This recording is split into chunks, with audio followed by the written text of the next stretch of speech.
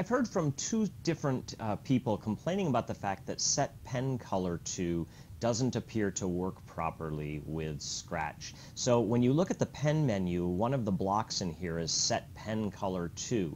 And when you look at the help menu for this, it actually specifically states that when you you can set the pen color based on a choice from a from a color picker that you're supposed to get some kind of a selection tool. And most people are looking for an eyedropper when they use this, right? The problem is that's not what happens. So if you wanted to use set pen color, this particular person has set pen color and, and has kind of a dark gray in there, and which is a little bit hard to see against the beach scene. And so I wanted to make it a much brighter color. And so the issue is how can I do that?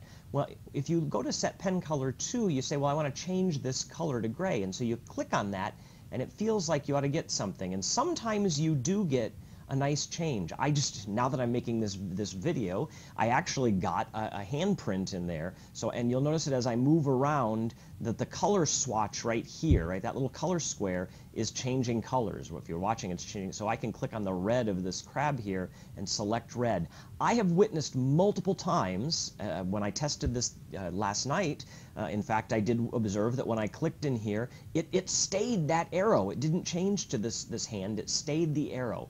My point with this video is going to be that whenever you ever you try to do set pen color, when you click on there, even if the cursor doesn't change for some reason, you, it does actually change to uh, a selection tool. And as you move this thing around, you can grab a different color and use it. And now we get that nice red color that we wanted. So the pet, set pen color tool does work. It just doesn't always look like it's going to work.